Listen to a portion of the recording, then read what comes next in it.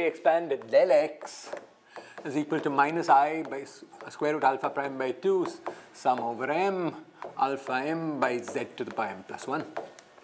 That, and a similar expansion for the anti-holomorphic. Um, now, in this case, alpha 0 was uh, um, where were we? Here. Square root alpha prime by 2 PL. Okay? Uh, in, in the, the non-compact uh, uh, boson, alpha 0 was square root alpha prime by 2 times P. Uh, but here you remember that P was, PL and P right were different from each other. Okay? And uh, PL was given by n by r plus omega r by alpha prime. Um, there's a similar expansion for uh, the anti-holomorphic guy that involves p right. And you remember that p right was given by n by r minus omega r by alpha prime. Check I've got all the signs right. I think that's right. Okay? And if we wanted to, we could uh, integrate this expression. So we get x. This is del x, so therefore contribution only from x left. So x left is equal to, well, that's minus i by square root alpha prime. And then we integrate the alpha 0 guy. That gives us log z.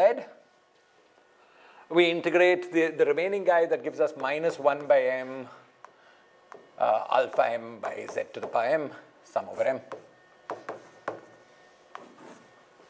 That's alpha prime by 2. And then if we, and then there's an alpha 0 here.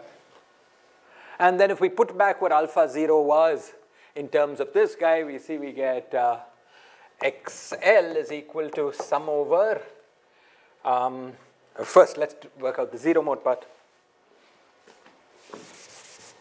Um, the, the 0 mode part is uh, alpha prime by 2 with a minus i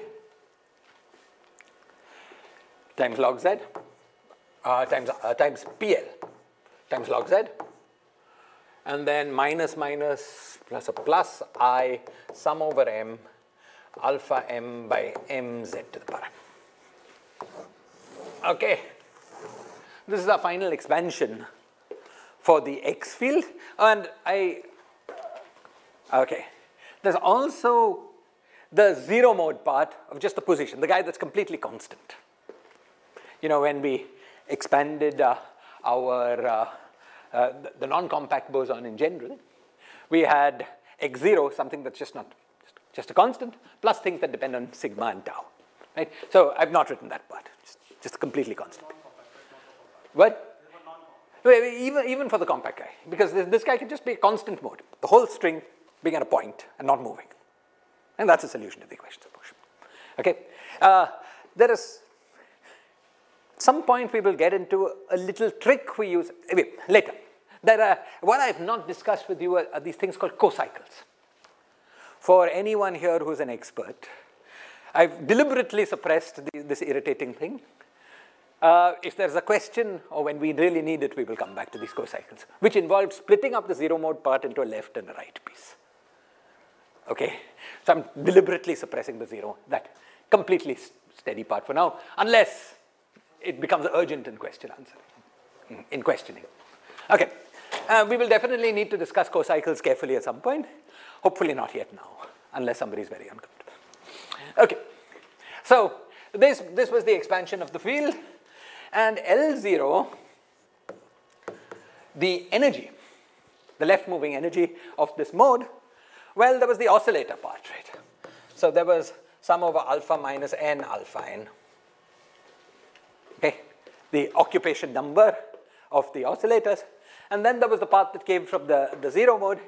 Maybe you remember this was given by PL squared alpha prime by 4, I think, plus this. I'll check I've got this right. Yeah, perfect. Okay, this is meant to be a summary review of what we discussed last time. The important thing that we explained last time was that was this part which you remember, right? It came from the winding sectors. W's were the winding sectors. Uh, N's were the Kaluza-Klein momenta. And uh, they split up into left-moving and right-moving pieces like this. Is, is this clear? Everyone's comfortable with this, right? Okay. So our, our, the next thing we're going to do with this, with this uh, compact boson is to compute its partition function. Okay. So what we're going to do is to compute Z. What? Yeah, I want to ask, when we say this field duality, the tan and W flips and R goes to alpha by Yes. So when we solve CFT, we need the spectrum, these, uh, the dimension, scaling dimension, and the three point, the numerical coefficient associated with. Three-point functions. So if I solve this theory for a particular R, Yes. uh, what will be the, how can I use this T duality? Suppose I solve it for R and R is a parameter, so then I can solve the CFT for any arbitrary R. So you can solve it for any arbitrary R.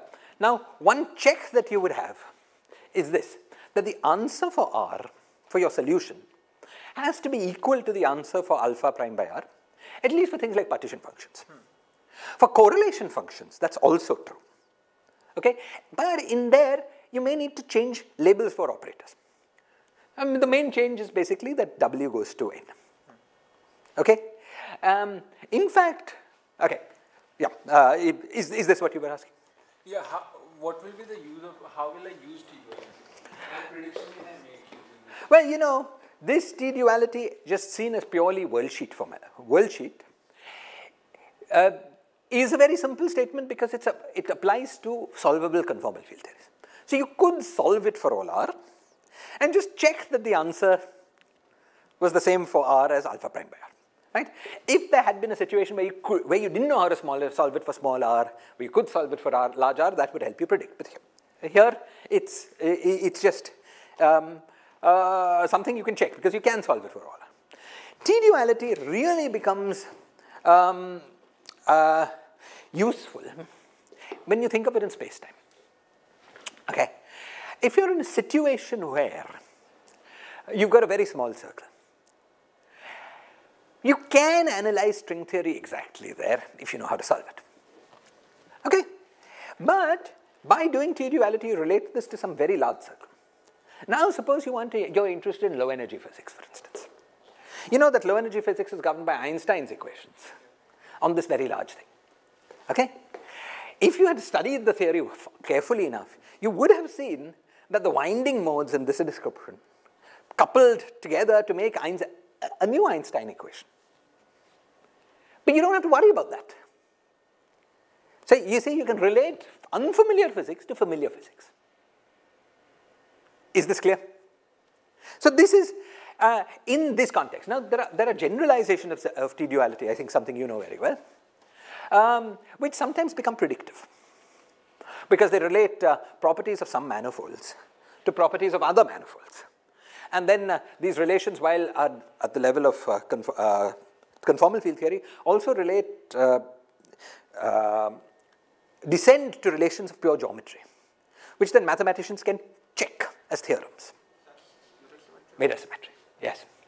Okay, so, uh, but in this simple case that we're talking about, I would say the main use of it is to allow for, you know, so when we're in very large spaces, we have many techniques to deal with, many approximate techniques to deal with physics. For instance, working with Einstein's equations. That intuition can be imported to being in small spaces. I would say that was the main. It's not that there was something, you would have been able to derive that stuff anyway if you'd worked hard enough at the conformal field theory. But here you don't need to worry about that because it, you relate to something you know well. Is this clear? What? Compactifications, exactly. So making a, a, bosonic direction a circle, it's an example of compactification. So in string theory, for instance, um, in the superstring, uh, 10, your, your world sheet action is the action for 10, in the simplest case, 10 dimensional string theory, is 10 bosons and fermions. Now you take some of these bosons and make them circles, and now your modes are not propagating in 10 dimensions anymore, but could be an R4 times T4, T6. So that's an example of a compactification. There are more sophisticated compactifications, but this is the simplest example. Okay, uh, other questions? Yes? So, uh, this is a, maybe a little bit mathematical question, but yes.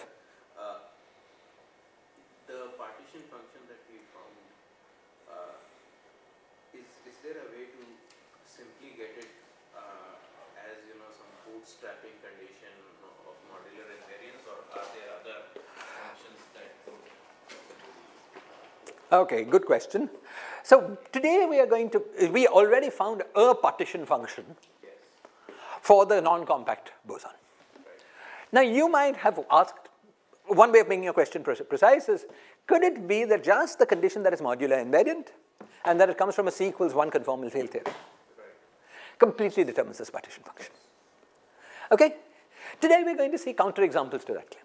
Uh, let's say if I have C is equal to 1 plus some physical conditions in non being non-compact. Being non-compact. Yes, so there is a claimed classification for all C equals 1 conformal field theories. And uh, uh, there, for that reason, and in that classification, the unique non-compact theory is the one we, we deal with. So if you make precise that statement of being non-compact somehow, the unique theory, so it should be that you could get it out. I don't know how practically. Yeah, but it should be. So this is somehow the same question as this classification. Because if you can classify all conformal field theories, it's like classifying all partition functions. Uh, that was not achieved at by looking at partition functions. But the, the answer, I think, should be yes. However, if you just put the condition that it's a C equals 1 theory, you know, the space of CFTs is two lines meeting at a point, right, which we'll discuss at some point for those of you not, not familiar. Space of C equals 1 conformal field theories. Okay, and uh, uh, what you might hope is to be able to get that classification, that whole thing from this condition. Again, that's effectively the condition, the question of classifying conformal field that is. Right, okay. We know that in d dimension, Yes. massive delta V for the massive particle is SO d minus 1. Correct. What do you mean by fermion in two dimensions? What do we mean by a fermion in two dimensions? Well, that's a good question. Uh, What, what we mean is just something that obeys the Dirac equation. You just want to say that we have some Clifford algebra, Yeah, depends on that one. yeah, yeah. Uh, it's going to be an anti-commuting field. There is no spin in. There is no spin. Because, as you say, for the simple reason that space is a point. So, where do you spin around? Yeah. yeah. There's these lecture notes by Coleman when he discusses Bo- Bose-Fermi duality in two dimensions. Says uh, he has this line, which is a very Coleman line, which he says, um, you know, in high dimensions, Bose-Fermi duality seems impossible because of the spin statistics uh, uh, theorem. Um, uh, but uh, uh, this, uh, this is not a problem in two dimension for the two di- dimensions for the excellent reason that in two dimensions there is no spin. okay, uh, okay, so something like that. I may not be quoting Babbitt. Yeah, two meaning of course one plus one. But since I see we've lost every condensed matter physicist, I can just say two. okay, okay, okay, okay. okay, except, sorry, every condensed matter student. okay, okay, okay, excellent. So um, uh, let us consider the partition function. Okay, now you remember that this theory was identical to the non-compact theory in its oscillator sector. Remember the zero point energy came from the oscillators because we got that by taking the zero point uh, uh, energy of each of the oscillators and summing them up to derive this magnificent identity 1 plus 2 plus 3 plus 4 is equal to minus 1 by 12. Clearly, right? Anyway, anyway, so uh, of course you see where that identity came from. It's the part that cannot be cancelled by a local counter. Okay, okay. So uh, uh, that part all remains unchanged because the oscillators remain unchanged.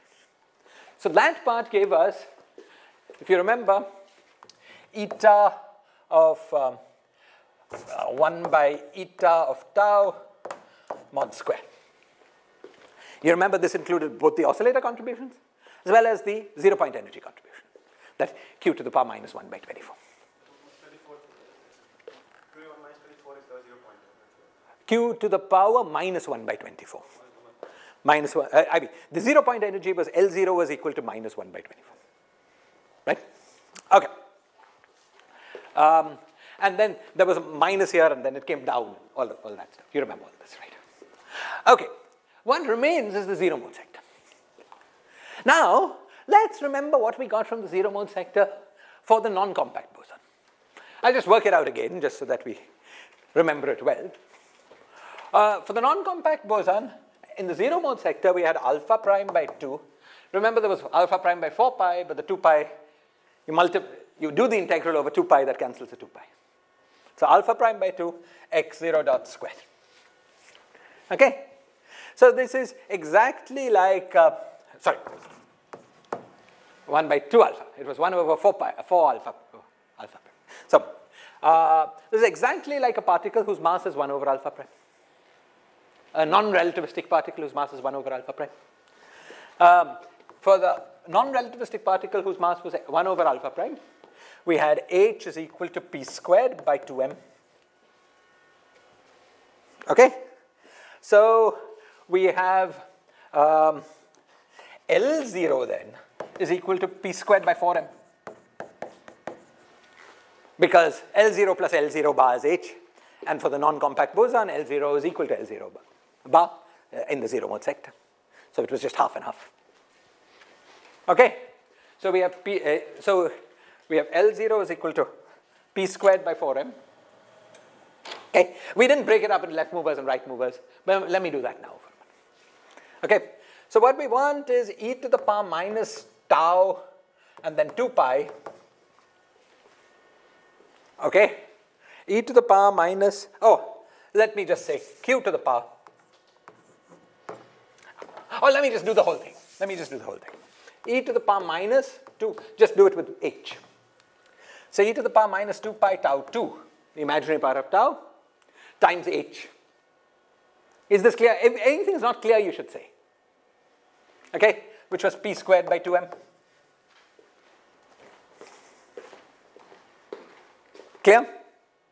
And then we did the integral over p, the trace over the Hilbert space, dp by 2 pi times, times the volume of space.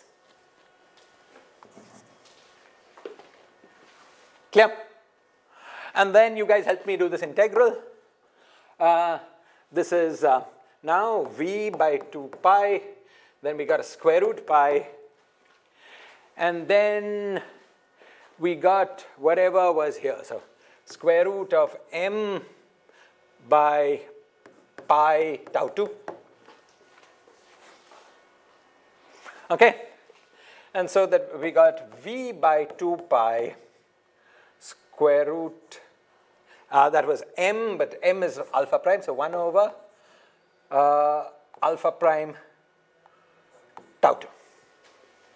Okay? Now, V is the volume of target space. Um, in one dimensions, it's natural.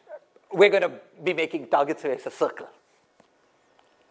So the circle has volume 2 pi r, length. Okay, so we can write this as equal to r divided by square root alpha prime tau 2. Okay, so for the non-compact boson,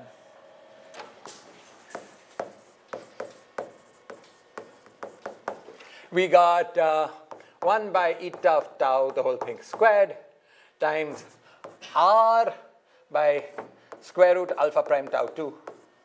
Tau 2 is imaginary part of tau. And you remember that the tau 1 over square root tau 2 played a key role in, in, the, uh, um, in the modular invariance of, of the answer. Okay? The important point was that you had 1 over square root tau 2 here and 1 over, 1 over square root of 1 over tau 2 there. So the relative ratio of these two terms was a factor of tau 2, which is also what came about in this mod eta squared transformation. Okay? Yes? We are a discrete momentum. It's just an IR regulator. You know, so what we're doing is the limit R goes to infinity. Yeah. This was the non-compact. Yeah. Now we're turning to the compact. Okay. So now let's work out the compact guy. So the compact guy, so let's say compact.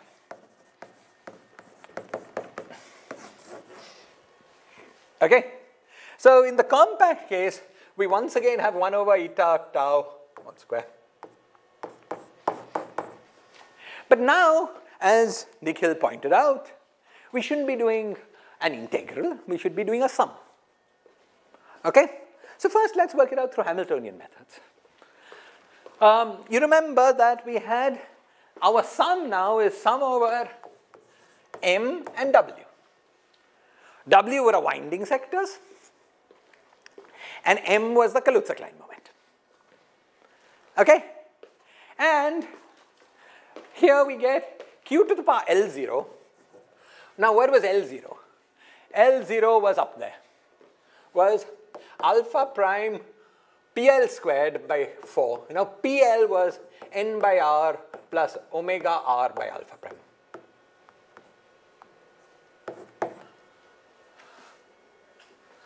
Okay, we've dealt with the zero modes. Ah, sorry, the oscillator modes.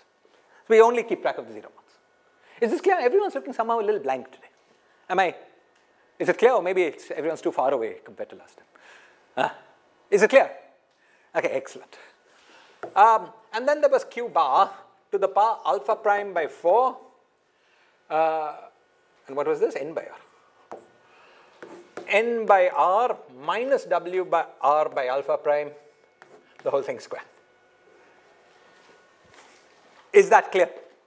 This is the answer for the compact case. Yes? I didn't, uh, louder please. That's eta square. No, no, no. I, I, sorry. Sorry. I'm sorry. I'm sorry. We just got the answer there and I put the box too big.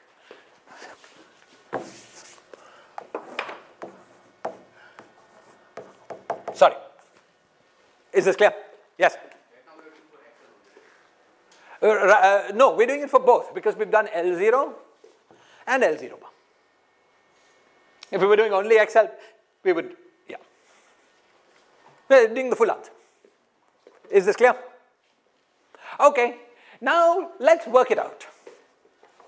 So you see, Q was equal to e to the power 2 pi i tau, which was equal to e to the power 2 pi uh, minus 2 pi tau 2 plus 2 pi i tau 1. Yes? Uh, we are summing over, thank you, let's call this n, n, n, let's call this n and thank you. What? Momentum and winding. Yes. Okay, so this kind of thing is impeding your understanding, please point out. So I'm sorry about the, um, uh, the sloppiness. Okay, so Q is this, therefore Q bar is equal to complex conjugate. So it's e to the power minus 2 pi tau 2 minus 2 pi i tau 1. Right? So let's break this up into, you know, it's tau 1 and tau 2 dependencies. Clearly the tau 2 part, the coefficient of minus 2 pi tau 2 is the sum of those two terms. Okay? So we have 1 over eta of tau mod squared times sum over nw then we get e to the power minus 2 pi tau 2, and then the sum of those two terms. So the sum, the cross term cancels. Uh, we get a factor of, uh, so we will get alpha prime by 2 now, and then n squared by r squared plus omega squared r squared by alpha prime squared. That was the tau 2 piece.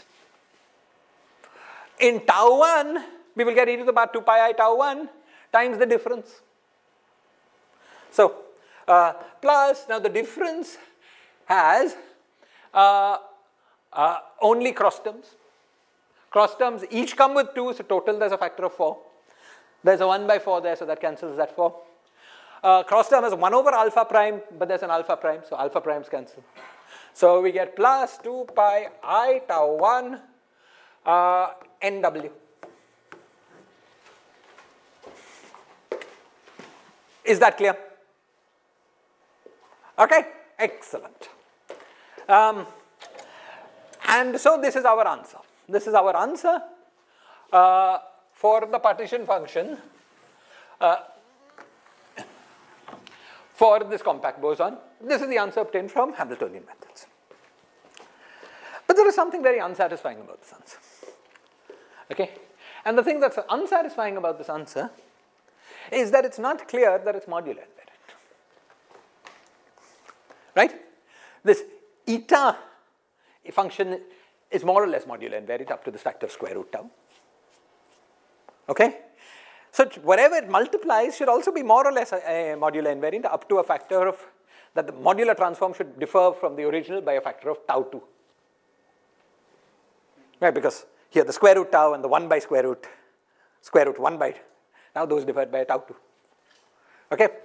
So it, uh, that, that, that, it, that there should be uh, the same, diff, same ratio of the, of the object and its modular transform as uh, tau 2 and 1 by tau 2, that, that kind of thing. Uh, but it's not, uh, it's not clear that it's working. Okay? It's not clear that it's working because the tau dependence of this looks pretty complicated and you try to do a tau goes to 1 by tau. Uh, it, in this form, it will just be a mess. You could try, but it would just be a mess. Okay? However, here, you see, what was the reason we believed that the answer was uh, modular invariant? It was that the Euclidean partition function for this theory was a geometrical function of the, the structure of the torus. Okay, so if we could massage this answer into the form we would get, not by doing a Hamiltonian calculation, by doing a, but by doing a Euclidean path integral computation then it would be guaranteed to give us, uh, then it would be guaranteed to be modular invariant if we did it right. Okay? Now it's often the case that computations you do using Hamiltonian methods and computations you do using um, path integral methods give you the same answer but in different descriptions. Okay? And just to illustrate that, um, uh, just to illustrate that, uh, just to illustrate that to you in, uh, uh, uh, in a simpler context, we're going to take five minutes off and work out a simpler problem. Okay? The simpler problem is this. Suppose my Lagrangian, suppose my action is non-relativistic quantum mechanics. I've got m by 2 x dot squared. Okay? And x is equal to x plus 2 pi r.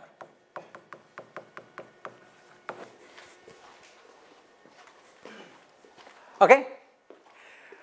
Now, if I asked you what is the partition function of this, uh, what is the partition function of this, uh, thermal partition function of this theory? If I asked you what the thermal partition function of the theory was, all of you would tell me, well, you know, the states of this theory are labeled by momentum, but momentum has to be n by r. The Hamiltonian is p squared by 2m, and so z is equal to sum over n e to the power minus n squared by r squared p squared by 2m. So 2m minus 1 by 2, 2m sum over yeah, n squared by r squared. Right, with a beta. Trace e to the power minus beta h. z is equal to this would be this. Is this clear? Well, this is what all of you would say. Now, let us try to get the same answer using path integral techniques. Using Feynman's path integral for this, uh, for this problem. Yeah. So we all know that you know the translation to path integrals of being finite temperature is to do a path integral in Euclidean space over a circle whose uh, circumference is beta. Because e to the power minus beta h is moving by beta Except that would have been the case if it had been e to the power i beta h. The minus is moving by beta in the Euclidean direction. Right? All this is familiar. So what we have to do is to do uh, what, uh, what we're going to try to do is to recover this answer uh, from dx e to the power minus m x dot squared by 2 okay uh, d tau Eh, in a theory where tau is equal to tau plus beta. Because the temperature is a compactification of your time. Okay, so just as we discussed last time in class. You see, this problem here is very similar to the problem we really want to consider, except that instead of being a string, it's a particle, so it's a bit simpler. So it's a bit easier. Let's train our intuition there, then we go back to the string. Okay?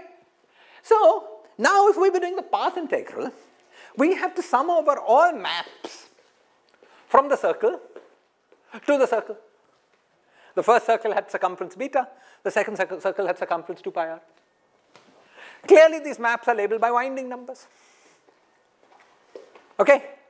Uh, I'm going to use m for winding number so that we don't confuse with this w, which is totally different. That's winding in space. This is winding in time. In Hamiltonian picture, there was no winding. There was just momentum. Okay, it's not a string we're looking at. There's no real winding. But in the Euclidean path integral, now there's a winding. Is this clear? They're related, right? If the momentum is like twice, then it will bind twice when they are moving on. Mm, sim- it's related, and we'll see the relationship now. But it's not exactly that simple. They're related by a Poisson resummation. You'll, you'll see. Okay. Okay. So, therefore, if we want to do this path integral, we have to do this path integral as a sum over path integrals over the different winding sectors. So we do the, the sum over the mth sector, this, this path integral. But you know, now in the mth sector, if I just, I can do this, the path integral over the mth sector in a very simple way. I choose one solution that has winding number m and look at fluctuations around that. Since my one solution is winding number m, all fluctuations should have periodic boundary conditions because that one solution is already accounting for the winding. So all the fluctuations around that should be periodic. Therefore, the fluctuations around this are the same in every sector. Okay? So if we look, we do the path integral in the sector with winding, uh, winding n, all we have to do is to find one classical solution of the equations of motion, which has winding m. Okay? And then the remaining fluctuations, the action will be the action for this one solution plus the action for fluctuations. Why is it that simple? Well, because we're solving around a, a we're expanding around a solution to the equation of motion, so there's no linear term in it. And the whole action was quadratic. And there's of course an obvious solution, which is the guy that is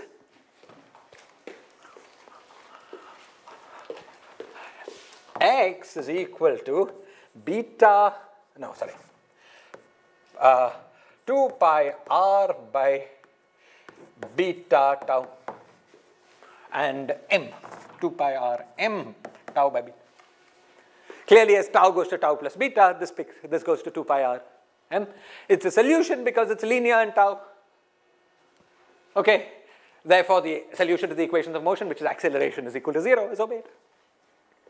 Okay, and therefore, what we get is an overall path integral over the fluctuations, which for th these fluctuations, for the, uh, which we'll come back to in a moment. So let's first look at, there's this overall path integral, and then there's the sum over m.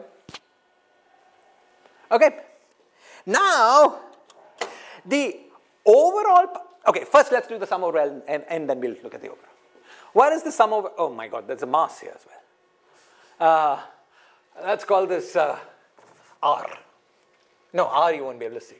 What? S. Make mass capital Make mass capital M. Good. Okay, there's a sum over M. So now we get, just plug this guy into this action.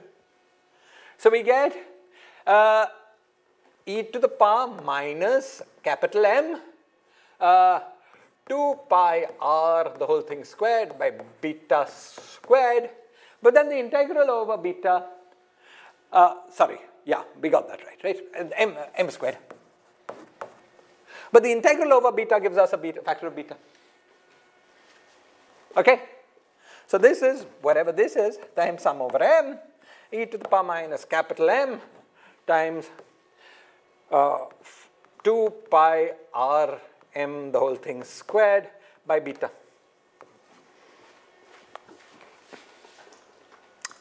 Okay. Now let's deal with this guy. Please. Homotopy class, absolutely. One homotopy class.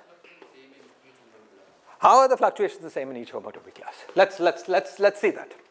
You see,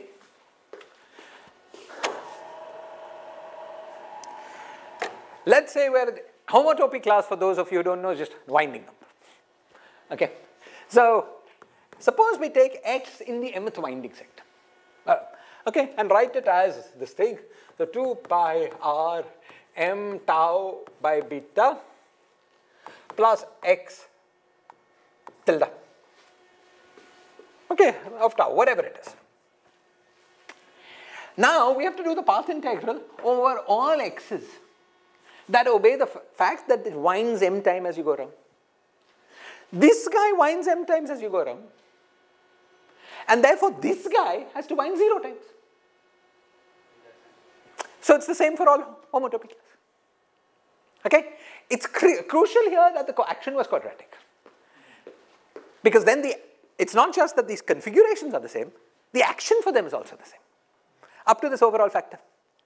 Is that clear? Yes? I don't understand the winding concept here. Winding concept here. Okay. You see, what are we supposed to do? We are supposed to do a path integral over for on Euclidean space. Euclidean space is that time is Euclidean and is a circle. And we are supposed to integrate over all x of taus. All x of taus that are legal. But our x itself is a periodic field. Okay? So imagine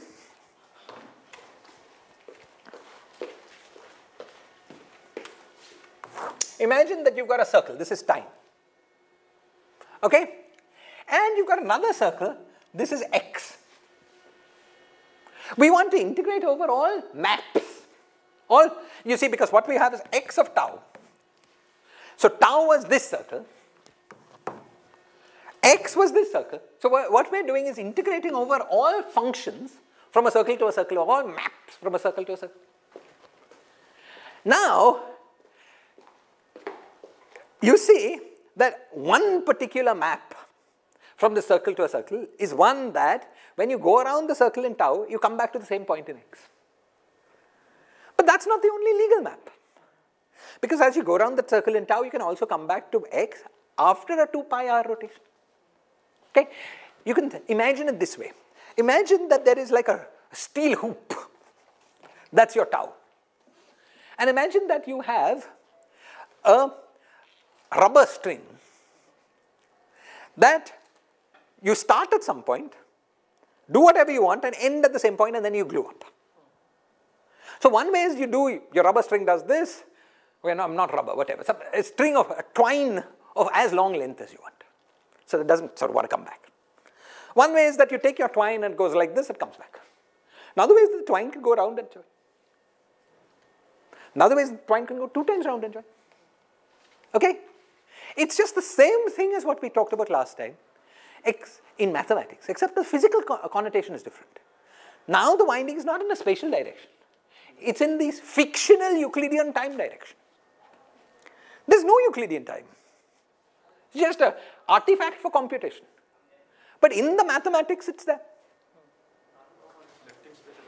Lifting spaces, I don't even know what that is. Covering space. Covering space. But this is uh, more simple than that.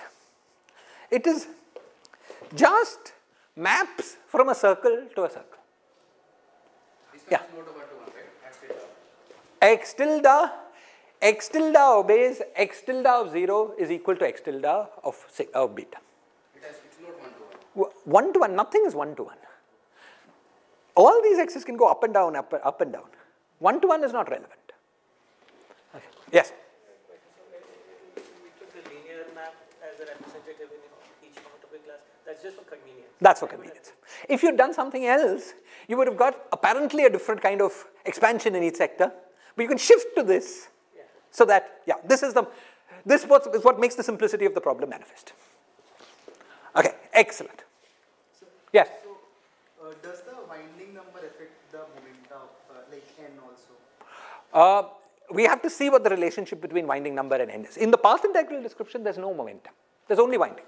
Uh, but when we were doing earlier, there was this n over rm. Uh, where, uh, the point of this exercise is to see the relationship between the, those.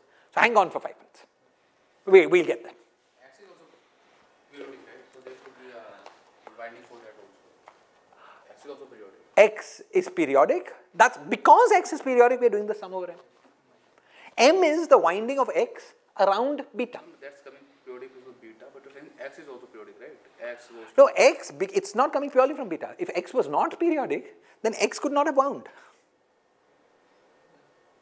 yeah, that is fine. The, the, winding is happening because both are periodic. It's a map from a circle to a circle. That was what is important. Had it not been the case that X was periodic, had it been that X was uh, non-periodic, had it been that the boundary conditions in X was that X of beta is equal to X of 0, then there's no winding.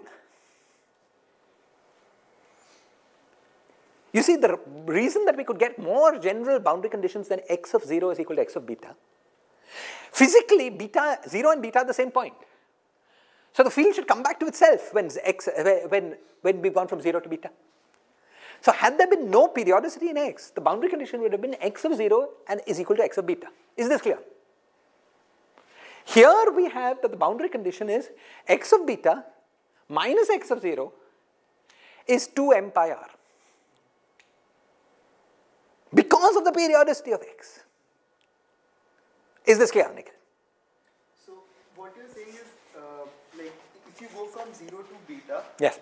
uh, there will come a point, like, from 0 to beta, where, like, let's say beta by 2, uh, where x0 will map to x, x0 plus 2 pi r. And that, At uh, no x x zero, x of zero is equal to x of beta plus two pi r, uh, two, pi r m.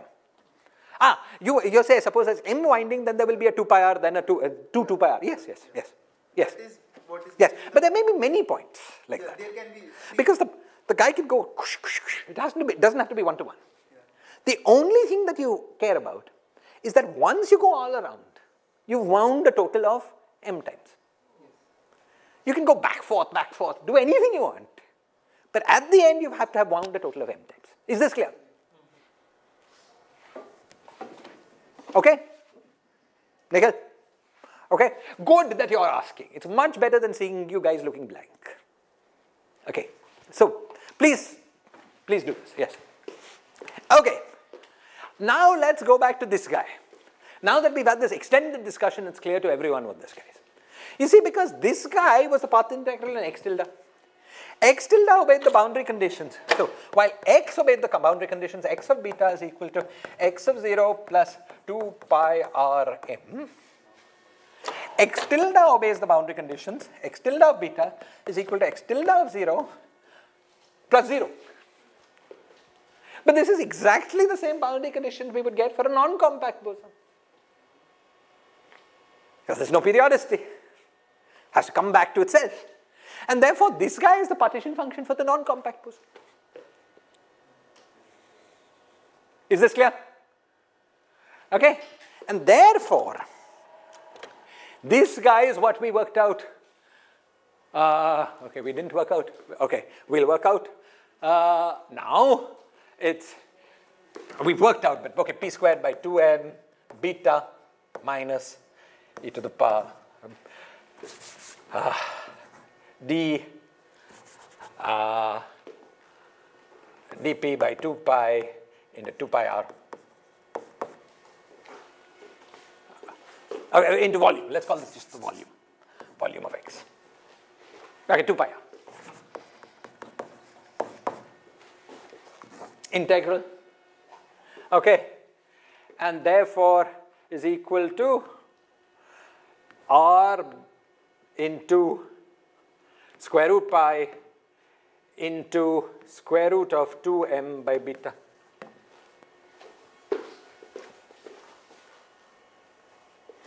Okay. And so this is equal to r into square root 2 pi m by beta. Is this clear?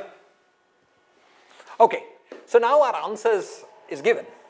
Z we claim is equal to r into 2 pi m by beta into sum over, oh, this is m. Sorry, this is m. Mass. Okay, into sum over e to the power minus m into 2 pi r m. The whole thing squared by beta.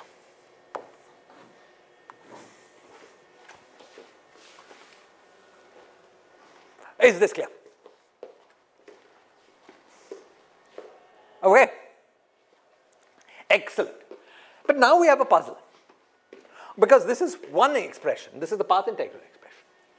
But we had a second expression, which was z is equal to um, sum over n e to the power minus beta p squared by 2m. So n squared by 2r squared uh, m.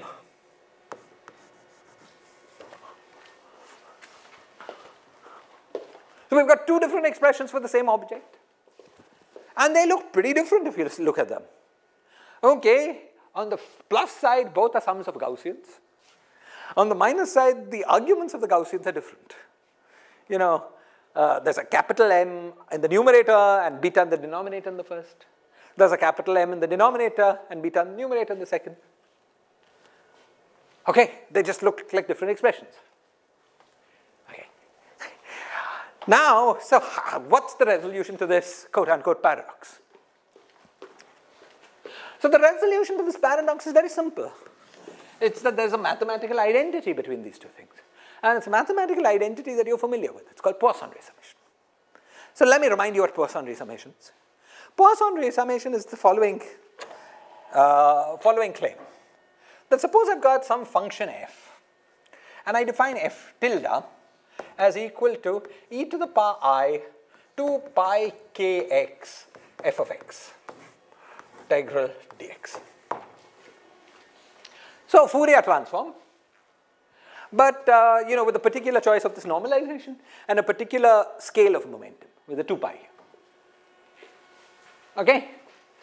Then Poisson resummation is the claim that f of m sum over m is the same um, equals minus infinity to infinity is the same as sum over n f, f of n. There are some conditions for the function to obey this, but reasonable functions like Gaussians definitely obey it. Okay? Sums over integers of the function are same as sums over, sums over the function at integer values. Same as sum over the Fourier transform at integer values. This is the claim of Poisson resummation. Hmm. Uh, just before coming to class, I looked up Poisson resummation on Wikipedia to get these two pi i's. okay, that's hard to remember, you know. But, okay. Uh, fine. Now I'm claiming that this identity helps us relate that to that. Let's check that's the case. Okay, you see, this guy is a sum over, let's choose one of them, let's say this guy. Let's call that f of x, f of n. So suppose we say that f of x is equal to e to the power minus beta by m x squared by 2r squared. then this term here is this side. Okay? So, I want to find the left hand side. So, I have to work out the Fourier transform. So, what am I supposed to do? I am supposed to work out f tilde, which is equal to e to the power 2 pi i k x e to the power minus beta by m x squared by 2 r squared. And I'm supposed to integrate over x. Okay, so I'm going to get two terms. I mean, there are two things. There's the determinant, and that's, that's what I get from completing the square. Let's work out the determinant first. Determinant gives us factor of square root pi, square root pi, and then square, uh, square root of whatever this stuff is. So 2r squared m by beta square root. Right? So um, that we can write as, I'll take the r out. So that's 2 r into square root of 2 pi m by beta. Looking good, right? Okay. Then there's the completing the square. Uh, okay. Uh, completing the square is always a pain in the neck. So uh, let's see. So we will get, first we will get, uh, yeah, so we will get a half because there was a half here. Then we'll get this square by this, right? Help me get that right. Uh, is it 2 pi i k, the whole thing square, divided by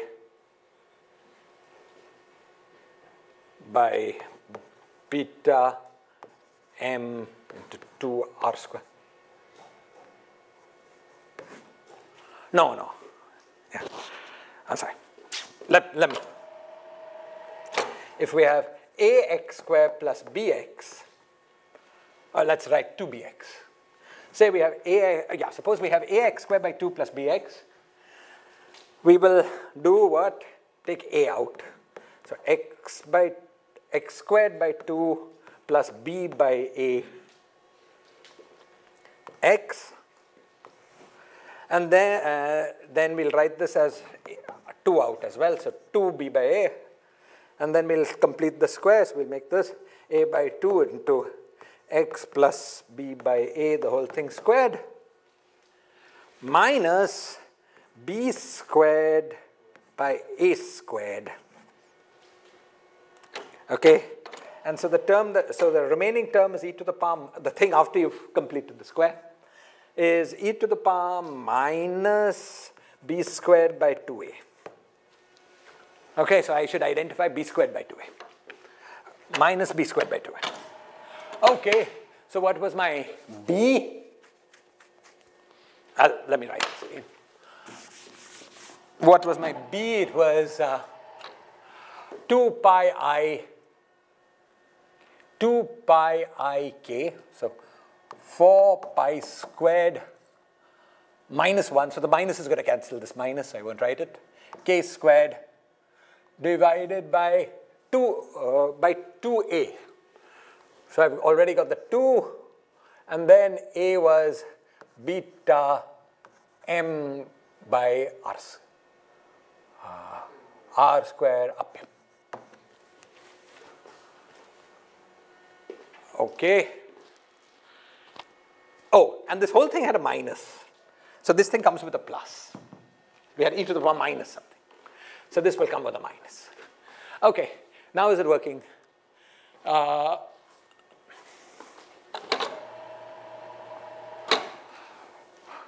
that thing has a capital M up here, so that's correct. It has a beta down there, so that's correct. Uh, Yeah, k is replaced by m, r squared is correct, 4 pi squared is correct, but I seem to be off by half. Right, I'm getting an extra half. Um, ah, ah, ah. And that is because my action was had an, no, did I take that into account? x dot squared by 2? Yeah, we've omitted the x dot squared by 2 in the action. The action was m x dot squared by 2. So when we computed the action for the winding number, should have been m x dot squared by 2. Right? So sorry. This, yeah, I just wrote x dot squared times beta, right? So that was by 2. Sorry. Okay? And so then it matches perfectly.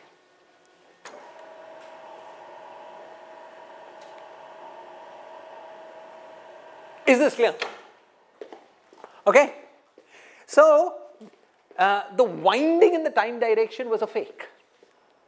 It's a mathematical trick for the Euclidean path integral.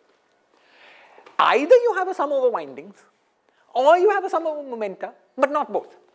Now you could ask, what is the relationship between the momentum and the winding? That's the, roughly speaking, the question you asked. You say, it's not like momentum is some function of y. These two things are like Fourier transforms of each other. You never have momentum and winding in the same description. Is this clear? You do the sum over all windings or sum over all momenta. It's hard to say what one mo momentum is in terms of one winding or vice versa. Is this clear?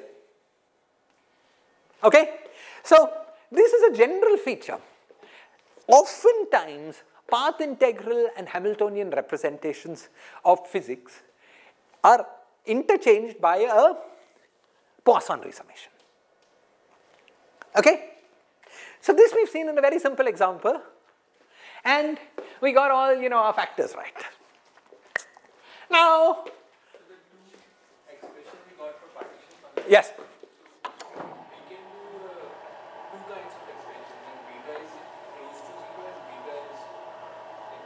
yes. So these two expressions, as you say, both are exact for every beta, but one of them is useful. The partition, the Hamiltonian method is use, useful at low temperature.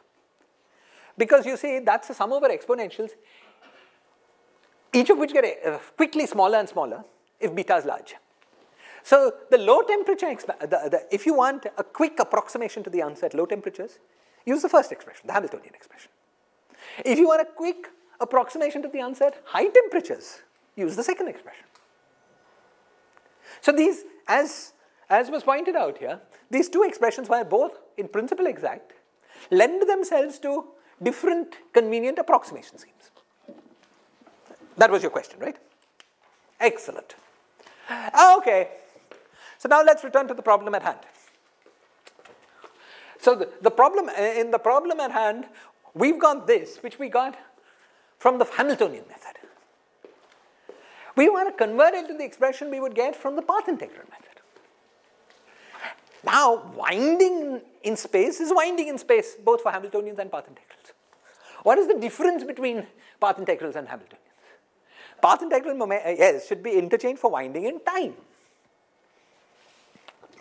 Okay? So, uh, now let's, uh, let's do the same thing that we did before. Okay. What we want to do is to take at fixed w, we want to take the sum over n e to the power minus 2 pi tau 2 alpha prime by 2 n squared by r squared. I'm not touching this term because it has no n. Okay? Uh, plus 2 pi i tau 1 nw. I want to take this and Poisson resum it. So what am I supposed to do? I'm supposed, so this was some function of n, right? So that function was e to the power minus 2 pi tau 2 alpha prime by 2 x squared by r squared plus 2 pi i tau 1 xw. Right? Now I'm supposed to Fourier transform this function. So f tilde is equal to integral e to the power 2 pi i k x times minus 2 pi tau 2 alpha prime by 2 x squared by r squared plus 2 pi i tau 1 xw. Right, and I'm supposed to do the integral dx. Find x tilde and then sum over all its integer values. Clear? Okay. Now, first thing we see is this. Um, first thing we see is this that here k, this 2 pi i x, 2 pi i x, there's a k plus tau 1 w. So let's write that as but 2 pi i x into k plus tau w. Hmm. Uh, And uh, then there is minus 2 pi uh, tau 2 alpha prime by r squared and then x squared by 2. That would be k plus tau 1. Tau 1. Thank you. Okay. And now we do the same shebang. Okay. We do the Gaussian integral. So we get square root pi. Then we get square root 2 from this. Square root r squared by 2 pi tau 2 alpha prime.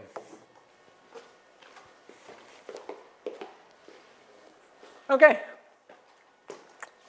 And then we have exponential of, and we're supposed to do b squared by 2a. So b squared is k plus tau 1 w, the whole thing squared, 4 pi squared. We know that the mi i's cancel, so minus signs work out. So we did that by 2a. So 2 pi tau 2 r squared, and there's a 2. That's it. A and half. Alpha prime I missed. Uh, A has a, alpha prime here. Good. Okay. So the, we get square root 2 pi, square root 2 pi cancel. R squared, so R by square root tau 2 alpha prime sum over exponential of. Okay? And uh, now what will we get? Um,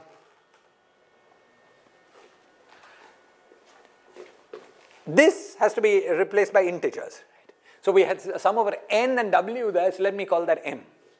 So m plus minus m plus tau 1 w, the whole thing square. Uh, 2 pi, 2 pi by tau 2 alpha prime r. Hmm. And then there was that term which I just didn't touch up there. R square, thank you. And then there was the term which was minus 2 pi tau 2 w squared r squared by alpha prime square.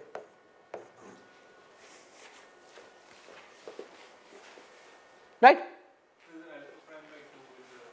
Alpha prime by 2, thank you. Alpha prime by 2. So let's pi. Was this, where? It was alpha prime.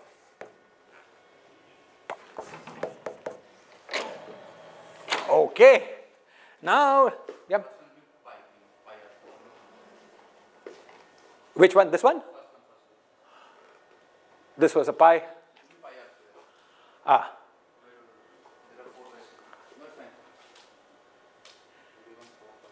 Yeah, 2 pi. As long as I got it right here. No, that is half. You're right. Pi. Because this half. No, no. 4. Oh, 4 pi. Was that really 4 pi square? It was probably 4 times pi square. Where did it come from? Uh, just a minute. Uh, where did it come from? Sorry. 2 pi. Yeah, 2 pi. And this is just pi. Thank you. Okay, excellent. Okay. Now let me first compare with what Polchinski has. Uh,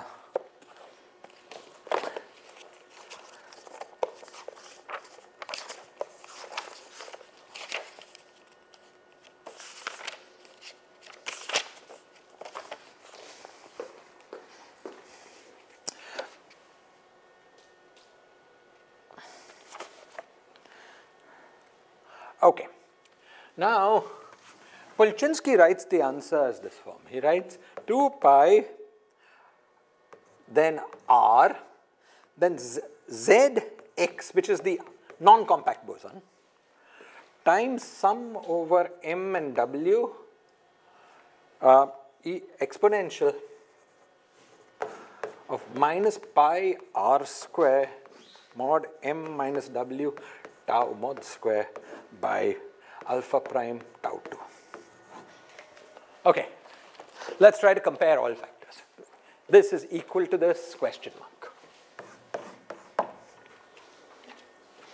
Let's first look up in the exponent. If we take this pi r squared, okay, this is r, pi r squared, we just expand this out. This guy is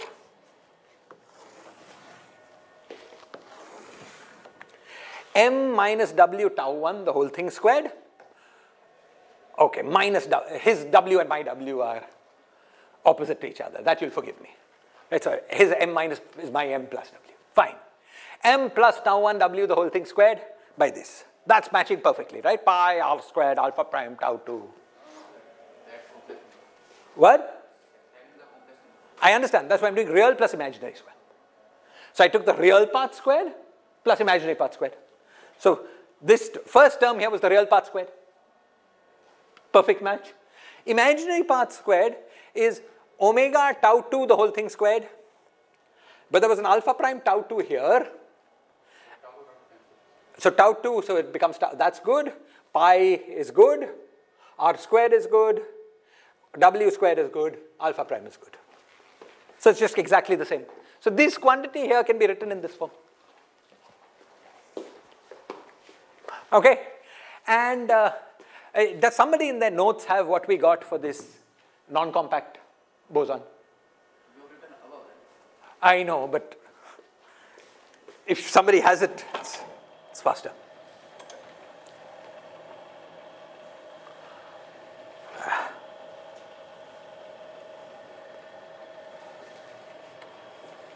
Here. So Polchinski is rem removing the V. So he had 1 over 2 pi alpha prime uh, tau 2. So, so remember, 1 over 2 pi, pi alpha prime tau 2. Square root alpha prime tau 2.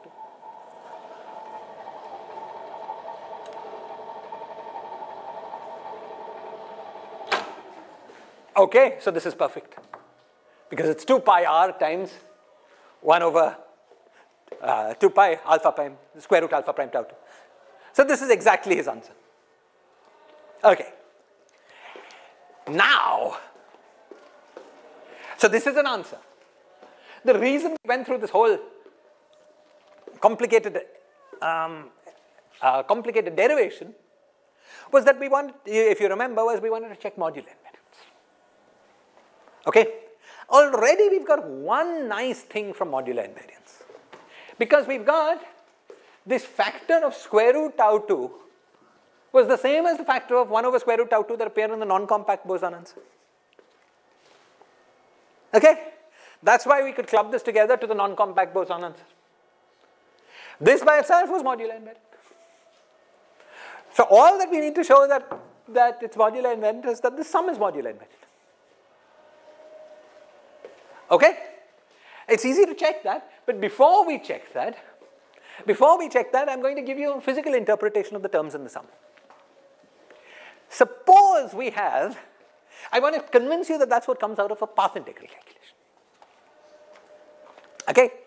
So, you see, this is the same kind of thing we did on that blackboard, except now we have two windings.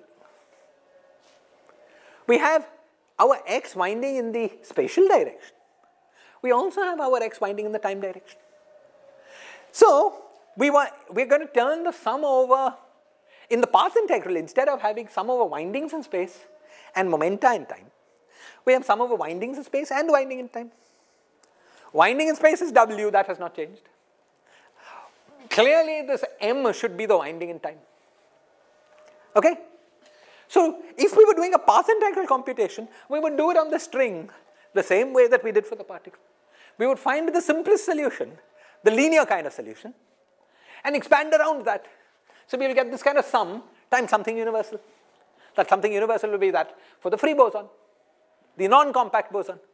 That's the structure we're getting. So it'll all work if the path integral reproduces what we have in that sum over exponentials.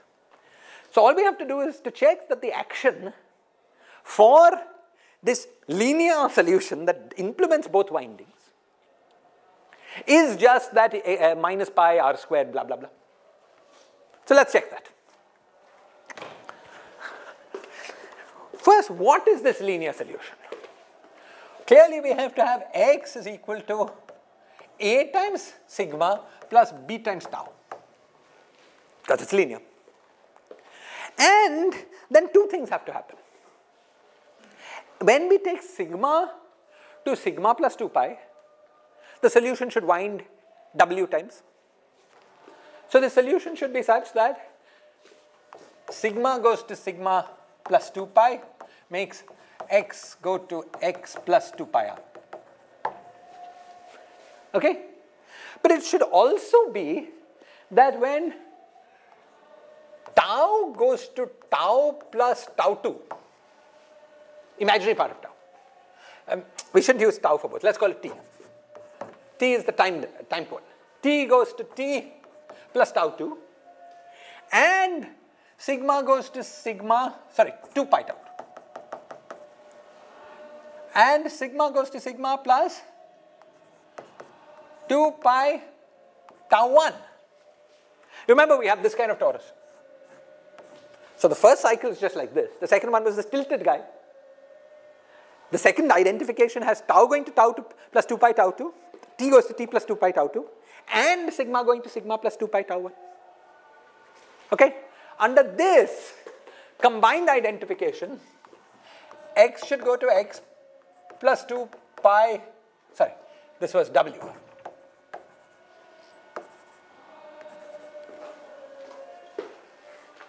Is this clear? No. Ah, no, yeah, the sigma plus 2 pi tau. This is 2 pi. This is 2 pi tau 2. This is 2 pi tau. Is this clear? So for the second cycle, you have to do this 2 pi tau 2 and 2 pi tau 1. But for first cycle, it's just 2 pi. Okay? Excellent. And so,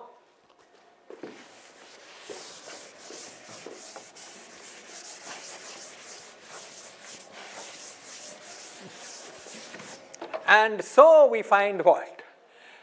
We need that sigma goes to sigma plus 2 pi, uh, 2 pi uh, gives you x goes to x plus and therefore a should be equal to this has to be equal to any idea what's going on? There is some big thing and they are stretching from here to here and Okay, okay, okay. Uh, okay, so A has to be equal to uh, WR right? So that sigma goes to sigma plus 2 pi will give, uh, give us x goes to x plus uh, 2 pi wr. Okay. Also it should be, so, so we'll put wr here. Now let's get the second equation.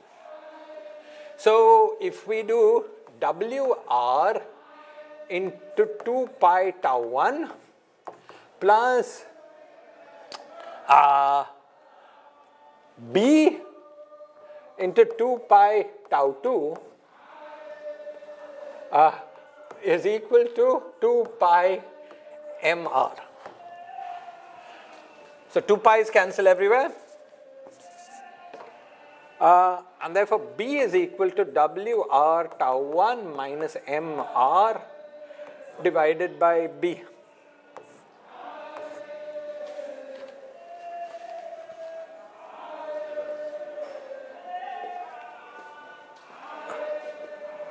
Is this okay?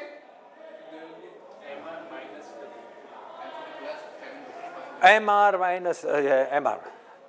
Yes, you're right. MR minus W tau WR. So M M minus W what? Sorry, let's do it again. M minus W tau 1 into R divided by 2 tau 2 by tau 2 right? Okay. And so our solution was this and now all that remains is to compute the action. Okay. So the action is x prime squared, x dot squared plus x prime squared because it's Euclidean, it's plus, 1 by 4 pi alpha prime d2 sigma. x dot squared is uh, omega r the whole thing squared. Uh, sorry, that was x prime, uh, x prime squared was this, yes. x dot squared is uh, plus m minus omega tau 1 by tau 2 the whole thing squared into r squared. And uh, uh, okay, then we have to then we have to multiply by the area of this torus, which is 2 pi into 2 pi tau 2. So we get right, it's a parallelogram. So into 2 pi squared tau 2 and then we had 1 over 4 pi alpha prime in the action. So 4 pi alpha prime. Oof, I find it very hard to think. Anyway. okay. Okay. So, uh, so then we get pi tau 2 by alpha prime.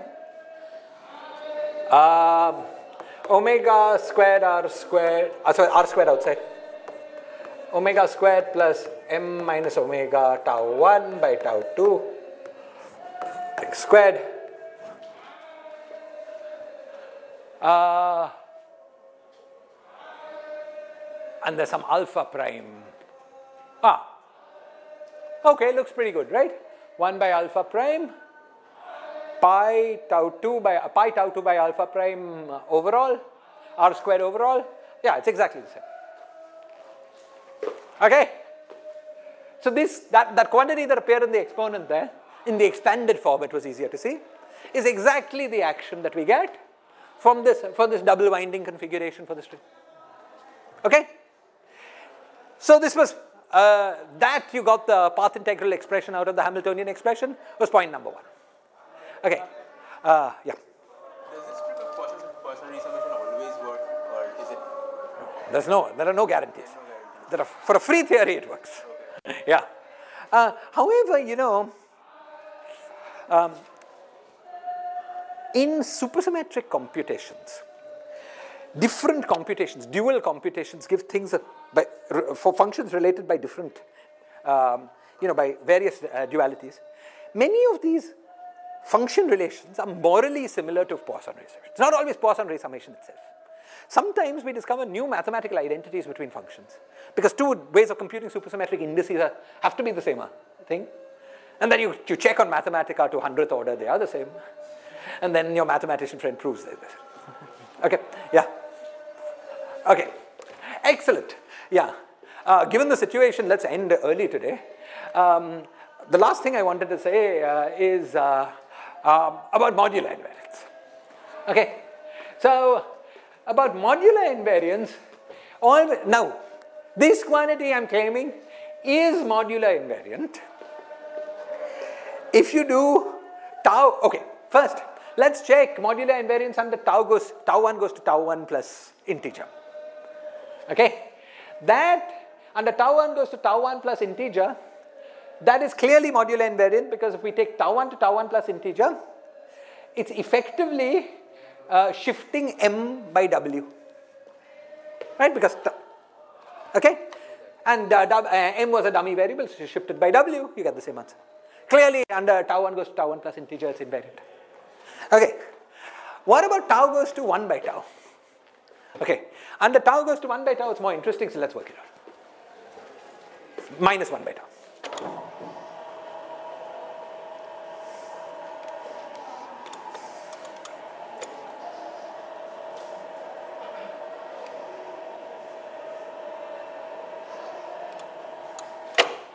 Okay, so we have m minus w tau divided by uh, alpha prime. So alpha prime, of course, not going to play any role. So mod tau 2 square. Okay, so now let's do tau goes to uh, minus 1 by tau. Okay. So we get m tau um, plus w mod square divided by tau mod square tau 2. Uh, oh, and uh, we've done we've done the transformation on tau. We should also do the trans transformation on uh, tau 2 prime. Okay. Um, so, okay. So what have I done here? Let me be more systematic. Yeah. Suppose we compute m minus w tau prime by tau 2 prime mod square, where tau prime is equal to minus 1 by tau 2, uh, minus 1 by tau. Let's immediately work out what tau 2 prime is. Okay. So tau prime is minus 1 by tau. So uh, uh, is equal to 1 by tau 1 plus i minus 1 by tau 2 which is equal to minus tau 1 minus i tau 2 by tau 1 plus i tau 2 square. Which is equal to tau 2 so tau 2 prime. So tau 2 prime is equal to tau 2 divided by mod tau square. Okay? And uh, so now when we compute this we get mod tau, this is tau m minus w mod square by tau prime sorry by tau mod square into but according to this tau 2 divided by tau mod square it's the same thing as long as maybe there's a plus here. As long as you, you switch m and w perhaps with a minus sign. Right? So under the shift of dummy variables this thing clearly goes over to the same thing. So as expected, modular invariance was trivial to see from the path integral form of the, uh, of the expression because the path integral was obviously modular. But in order to see modular invariant, we, invariance, we needed to convert to this path integral form. Okay, I suggest we continue with fermions tomorrow. I finding this a bit hard. yeah. Uh, sorry. Oh, now Tuesday. So I suggest we end class here. Uh, questions, comments, if you have any. Tuesday, unfortunately, there's a meeting that I cannot get out of, so I will not uh, be taking class. Our next class will be Friday, this coming Friday. Uh, questions or comments? I had a question. Yes, if you of the string while winding around, the yes, a string cannot break and like wind it like a string was winding once, yes, it cannot break and wind twice. yes. So these are physically distinct sectors. These are different sectors. So Yes. Can I just not focus on one sector? Um, yeah. Uh, you know, the partition function of the theory includes all sectors. So, for instance, um, if you focused on, let's say, winding number 0 and somehow projected onto, you know, winding 0 on that side, that would be consistent. That would be the same as uh, working with just the uh, non-compact boson. But if you try to focus on a sector with a particular winding number, that would not be consistent. Because in the operator product expansion, when you take the fusion of two operators, you would produce an- another operator with another winding. Okay? So it's very much like saying that, you know, states in a theory, charge is conserved. So let me try to focus on things with a particular charge. The problem is the charge is conserved, but it's not locally conserved in the sense that, you know, you can produce two electrons here and two anti-electrons there and it's still good. So in local physics, you need to be able to take a charge field and another charge field that produce a field of twice the charge. To try to truncate your field spectrum to things with charge only one will be inconsistent. That's what we will be doing here. At the level of vertex operators, we try to truncate only. You will violate closure of the OP. Okay. Uh, excellent. Other questions or comments? Okay, let's let's uh, stop for today.